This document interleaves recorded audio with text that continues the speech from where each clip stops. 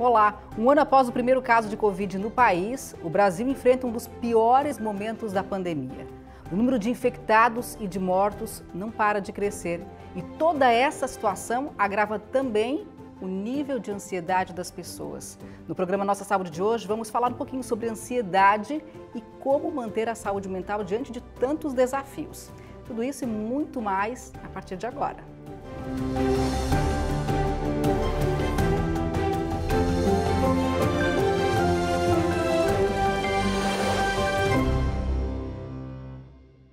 E a nossa entrevistada hoje é a Graziela Amboni, psicóloga, coordenadora adjunta do curso de psicologia da Unesco, a Universidade do Extremo Sul Catarinense, e também coordenadora do programa Acolher Covid da Unesco.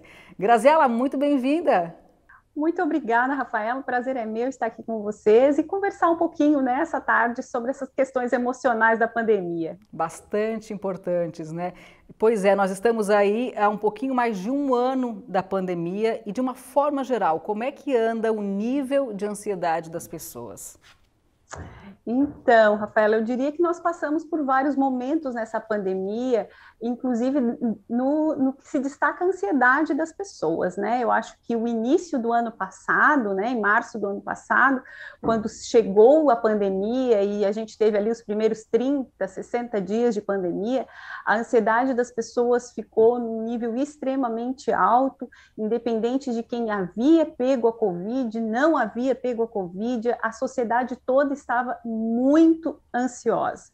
Depois eu acho que nós passamos por um momento de resiliência, né, de aceitar um pouco o processo e criar expectativa do fim dele, que muitas pessoas colocaram como sendo dezembro de 2020, né? Houve aí uma expectativa de um senso comum de que em dezembro de 2020 a pandemia iria embora, começaríamos 2021 de uma outra forma.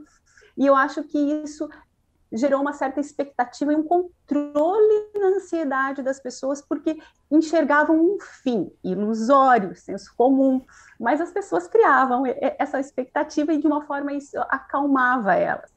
E eu acho que com a virada do ano, né, com 2020 chegando, a gente vivendo nesse momento, o pior momento da nossa pandemia no estado de Santa Catarina, o nível de ansiedade das pessoas novamente está altíssimo e talvez tão alto quanto nunca foi porque hoje existe uma angústia de quando realmente isso vai acabar. Então, a ansiedade está extremamente alta em todos os níveis de idade, né? Eu acho que desde crianças estão muito ansiosos, jovens, adultos, idosos, pela demora, né, de uma solução para o problema da pandemia. É bem isso aí, o quadro é esse, né? Havia então uma expectativa de, uma de que a situação melhorasse no final do ano passado, ninguém vislumbrava né, uma situação que se estendesse por tanto tempo, e aí a gente vê aí entrando em um ano, um ano de distanciamento, de isolamento, de incertezas, muitas pessoas enfrentando desemprego, uh, ou seja, é uma situação grave por um tempo prolongado né? Isso provoca Isso. inúmeros prejuízos para a saúde mental, né, Graziela? Isso, até porque eu acho que tu toca numa coisa bem importante, né, Rafaela? Existem muitas pessoas que têm medo da doença. E existe um número tão grande quanto que tem medo da sua situação social, financeira, né? Sua questão econômica realmente porque a pandemia ela é, ela é geral, ela não é só saúde física, ela é saúde financeira também das pessoas, né? Eu acho que talvez todos conheçamos uh, de 5 a 10 pessoas que tiveram seus empregos, uh, se, não se não reduzidos, a pessoa perdeu o emprego. Isso também gera um problema de saúde mental muito grande nas pessoas, porque, ah, eu não estou temporariamente sem emprego, eu posso ficar muito tempo sem emprego se isso tudo não melhorar, se a economia não reagir, né? Então, assim, hoje a ansiedade não é só pela doença, não é só pelo isolamento social, não é só pela, pelo medo de como é que vai ser se eu pegar ou se alguém da minha família pegar, mas é como é que vai ser o meu sucesso financeiro no final do mês, né? Eu vou vencer o final do mês, eu vou ter emprego no final do mês, e isso tem aumentado muito a ansiedade também das pessoas. Sim, e aí você falou que e essa ansiedade ela atinge a todos indiscriminadamente, né? Crianças, jovens, adultos, idosos. Agora, acredito que ela atinja a todos, mas de uma forma diferente, certo? Sim, de uma forma diferente, né? Vamos, vamos pegar aí pela baixa faixa etária e ir subindo, né? Então, assim, as crianças, a gente vê elas muito impacientes, né? Então elas têm chorado com muito mais facilidade, elas têm feito a, as tais manhas com muito mais facilidade, porque elas estão há muito tempo sem esse convívio social com os amigos, né? Então assim, algumas escolas já retornaram, outras escolas ainda não retornaram, né? Escolas municipais tem, temos escolas municipais que ainda não tiveram o seu retorno né, conforme estabelecido pela sociedade. Então, isso tem gerado nessas crianças uma angústia uh, através de sintomas como uh, obesidade, né? Então, assim, a gente tem apontado muito a obesidade das crianças nesse um ano, as crianças substituíram o brincar pelo comer, né? Elas não podiam ir para a rua, elas tinham que ficar dentro de casa, Sim. então elas comiam muito mais, elas tinham um sedentarismo muito maior, uma dificuldade de integração entre os colegas, por mais que existiam aulas online, que existia alguma espécie de, de interação, é muito diferente daquilo que a criança é acostumada. Então, as crianças hoje a gente percebe elas com maior déficit de atenção, elas têm tido maior dificuldade de se concentrar nas atividades, né, seja qual for a atividade. A gente tem visto um número maior de eletrônicos na vida dessas crianças, que o eletrônico é bom, ajuda a desenvolver, tem várias né, potencialidades, tem, mas também tem o prejuízo do excesso, né? Do deixar de desenvolver outras habilidades e ficar ali em frente a esse eletrônico o tempo inteiro. Então, a gente vê crianças mais irritadas, mais desobedientes, porque aí o que, que acontece? Elas estão muito em casa, onde às vezes as regras não funcionam tão bem como funcionam na escola, e isso vai a uma somatória de, de sintomas mesmo dessas crianças, né? Sim, e aí, subindo aí para outra faixa etária, né, jovens e adultos, de que forma que eles estão sentindo uh, a ansiedade? Então, eu diria que os nossos jovens, eles ainda são os que menos estão, talvez, vivenciando esse momento, né? Porque a gente tem aí um processo de um número grande de jovens, e aí jovens, eu digo jovens até 21, 22 anos, por aí, né? Que, de alguma forma, não realizam o isolamento social, não realizam o distanciamento e acabam tendo ainda suas atividades, uh, embora talvez um pouco prejudicadas, mas ainda acontecendo. Dentro então, de uma então, certa normalidade, né? Sobre um aspecto é, exatamente, assim, não mantém exatamente como era, mas mantém um contato, porque de um, infelizmente também, né, de uma forma ou de outra, o respeito pelas regras. Por essa faixa etária, a gente sabe que não tem sido adequado, né, talvez, uh, é, né, então assim, os jovens acabam não acredito muito, a, a, própria a questão psíquica do jovem, né, de achar que comigo nada acontece, que eu sou muito mais que tudo isso, né? E isso acaba gerando a esse jovem um comportamento de não cumprimento das regras, consequentemente, emocionalmente, eles sofrem menos, né? Talvez venham transmitir mais a doença talvez venham complicar um pouquinho o nosso cenário, Sim. mas emocionalmente a gente não pode dizer que, que é uma faixa etária que acaba sofrendo menos porque busca alternativas. Outra coisa, eles são muito criativos também, né? Então, aqueles que cumprem as regras, a gente sabe que eles fazem grupos para assistir filmes todos online ao mesmo tempo, e aí eles vão comentando os filmes Sim. enquanto eles estão assistindo. Então, aqueles Tem mais distrações, que, né? Uh, acabam é, e eles têm uma criatividade mesmo, assim, né? De como é que a gente vai fazer para se comunicar e estar juntos, né? Até pela própria facilidade, todo mundo tem o seu computador, todo mundo tem o seu telefone, todo mundo. Então, eles fazem esses grupos, até mesmo por, por essas redes como o Zoom, como o Meet, enfim, e eles assistem filmes juntos, eles, eles fazem jantas junto, né? Então, assim, eu, eu já acompanhei situações de, ah, vamos fazer uma janta, cada um na sua casa, na frente Sim. do seu computador, e eles estão ali de uma forma. Então, são pessoas muito criativas, os jovens. Então, um aspecto emocional, a idade que menos sofre, psiquicamente falando, né, é a idade desse jovem até 21, 22, 23 anos. Depois passa a ver já até um, um uma concepção de uma responsabilidade um pouco maior, que é proveniente da idade, da maturidade, e acaba uh, havendo uma, uh, um isolamento social maior. E aí, esses que acabam realmente se isolando, que têm lá seus 25, 30, 40 anos, essas pessoas sofrem muito, porque elas deixam de fazer muitas coisas que elas eram acostumadas a fazer, né? Muitos não conseguem ainda substituir essas atividades por outras atividades.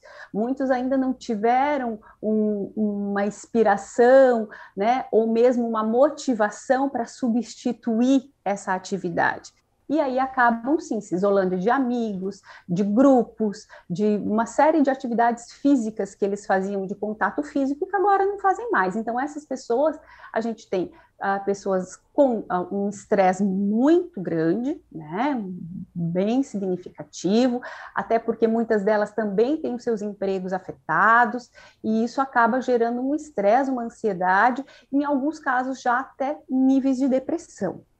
E aí, quando a gente pega as pessoas mais velhas, né, acima de 60 anos, idosos de 70 anos, aí essas pessoas a gente diria que são gravemente afetadas, né, porque elas tiveram um isolamento social de fato, né, quando ah, elas pararam de poder visitar as pessoas e as pessoas poderem parar de visitar elas, muitas delas já moram sozinhas, né? Ou então com seu companheiro, com a sua companheira, mas assim, filhos já não moram mais em casa, netos não podem ir até a casa deles, e aí eles acabam vivendo realmente o período da solidão.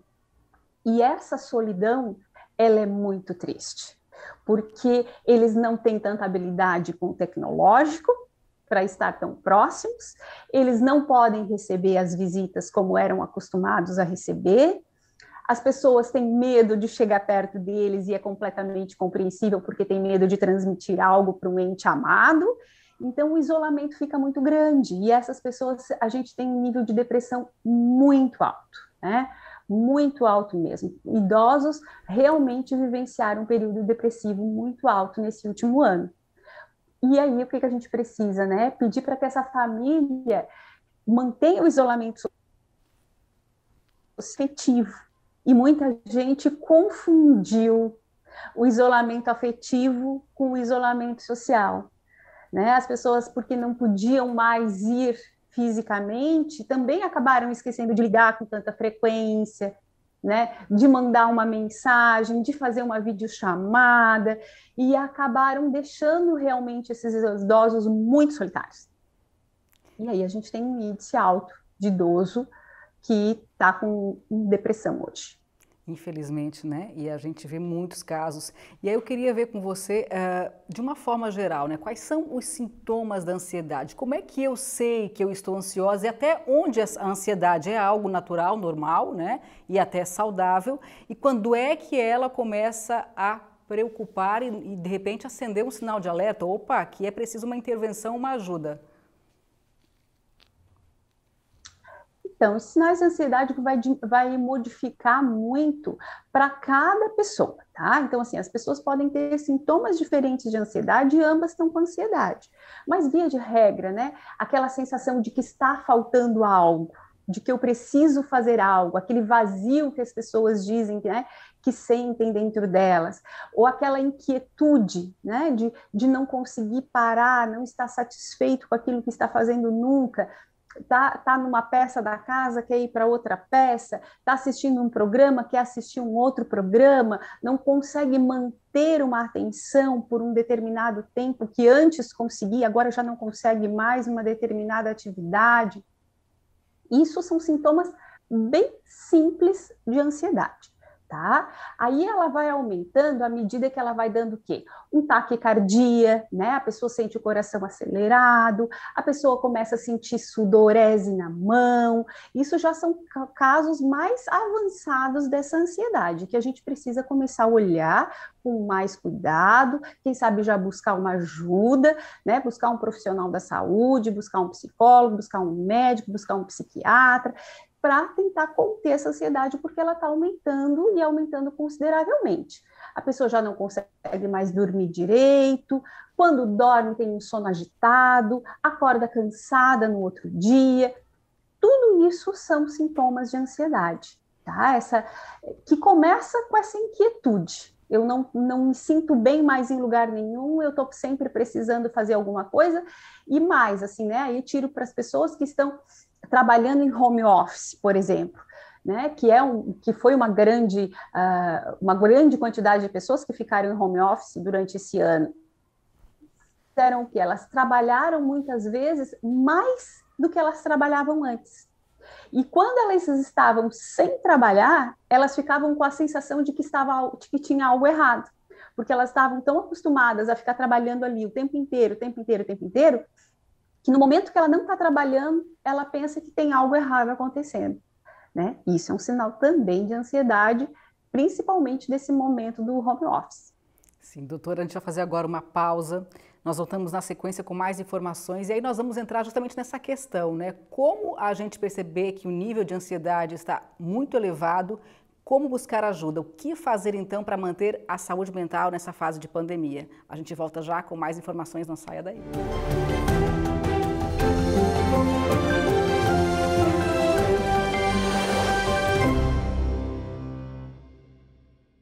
Estamos de volta e continuamos o nosso bate-papo aqui hoje sobre ansiedade com a psicóloga Graziela Amboni. É, Graziela, vocês aí na Unesc, que é a Universidade do Extremo Sul Catarinense, tem um programa muito bacana que é o Acolher Covid da Unesc, né, que tem ajudado milhares de pessoas nessa pandemia a enfrentar um pouquinho melhor essa situação toda, né? Conta um pouquinho para a gente como é que é esse programa.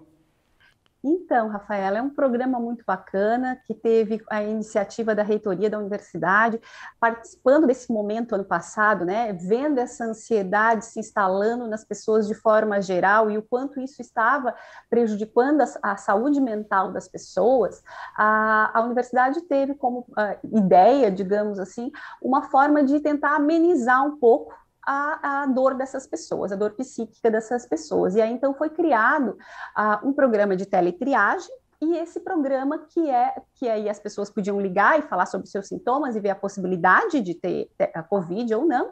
E depois nós criamos no dia 1 de abril do ano passado, uh, inaugurou o programa Acolher Covid, que é um programa onde a gente faz atendimento uh, de escuta qualificada, né, para as pessoas que estão tendo algum problema, alguma angústia, algum sintoma psíquico, qualquer que seja, provenientes da pandemia, né? Seja quem já pegou uh, Covid, seja quem não pegou Covid, não importa, qualquer pessoa do mundo inteiro, e aí a gente pode dizer do mundo inteiro, porque nós temos uh, pessoas que nos ligaram da Argentina, do Chile, teve uma ligação, inclusive, até da Inglaterra, então, assim, são pessoas do mundo inteiro que têm acesso a esse nosso programa, que é um programa gratuito, aonde a pessoa entra em contato e a partir do momento que ela nos, eh, nos liga, né, via WhatsApp, automaticamente recepcionada por um psicólogo da instituição que vai fazer toda essa escuta do que, que está preocupando a pessoa no momento, o, há quanto tempo isso vem acontecendo, de que forma isso está afetando a vida dela, e junto com tudo isso, tentar encontrar uma saída, uma alternativa em meio à pandemia para esse sofrimento. Né? Um programa que tem ajudado realmente muitas pessoas.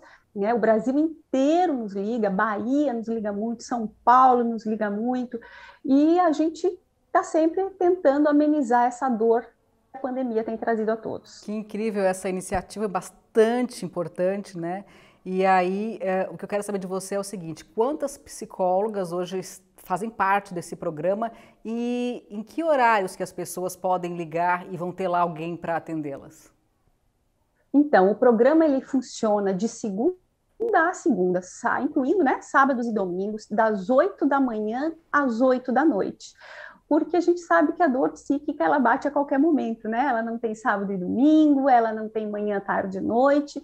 Então a gente tentou criar, criar uma plataforma onde a gente acolhesse o maior número de pessoas possíveis a qualquer momento. Então, das 8 da manhã às 8 da noite, ele fica aberto online o tempo inteiro, são atendimentos individuais, com todo o sigilo que a, a profissão requer né? E essa pessoa pode entrar em contato conosco porque ela não vai ter custo nenhum, ela vai fazer um, uma chamada de WhatsApp ela pode digitar suas angústias que ela está vivendo, ela pode mandar áudios para nós se ela não quiser digitar, então fica de fácil acesso para todo mundo, né? Hoje nós estamos com 18 psicólogos que revezam o plantão, e aí a gente vai, né? Tem uma escala, fora isso, a gente tem grupos de monitores desses psicólogos, né? Que seriam supervisores para apoio a qualquer dificuldade maior porque às vezes a gente precisa sim fazer encaminhamentos, né? Assim a, a, pessoa está num processo já muito avançado desse sofrimento psíquico, de uma depressão, até mesmo de uma ideação suicida, e a gente precisa fazer um, um encaminhamento dessa pessoa. Então a gente tem uma rede de apoio, né? Que nos monitora ali de alguma forma, para que a gente possa fazer esses encaminhamentos para quem estiver num sofrimento psíquico ainda maior a pessoa que entra em contato conosco, ela também pode, assim, ah, eu entrei hoje, será que eu posso entrar amanhã de novo? Pode, ela pode entrar em contato conosco quantas vezes ela quiser, quantas vezes ela entender que foi necessário. Sim, pelo que vocês observam aí no dia a dia, né? Quais os problemas mais recorrentes, Graziela? O medo do futuro hoje. Hoje é o medo do futuro. Lá no começo era a, a, a, angústia de até quando isso vai durar e se eu pegar Covid, como é que a minha família vai ficar.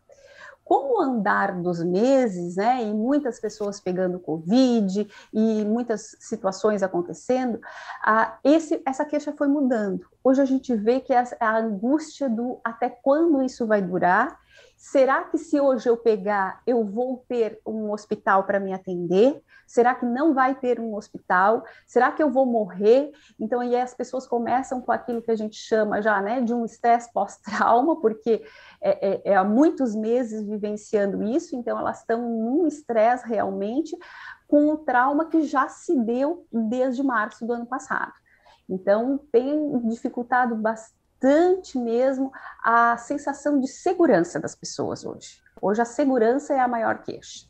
Doutora, e aí que tipo de aconselhamento vocês dão para essas pessoas, né? Por exemplo, é, qual a importância de uma atividade física, de uma meditação, enfim, como é que as pessoas nesse momento elas podem realmente baixar um pouco esse nível de ansiedade, né? Até para manter a saúde mental? Então, a gente percebe que cada indivíduo vai ter um jeito de lidar com essa ansiedade, né? Seria se tivesse uma receitinha mágica que fosse dar certo para todo mundo e todo mundo ficasse bem, mas não.